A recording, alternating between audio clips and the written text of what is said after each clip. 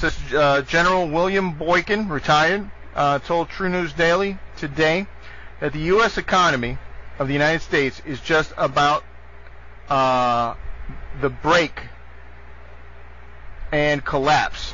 And when the dam gives way, severe food shortages and pervasive violence throughout America will warrant, in his opinion, an executive declaration of martial law. Um, for those in the know, we, we knew this was going to come, and uh, I am not surprised to hear something like this.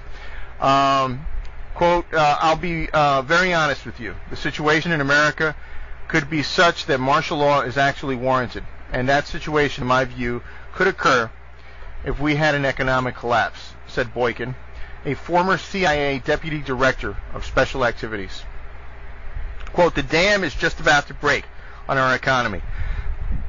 And I think when it does, there's going to be a major disruption uh, of the disruption of food.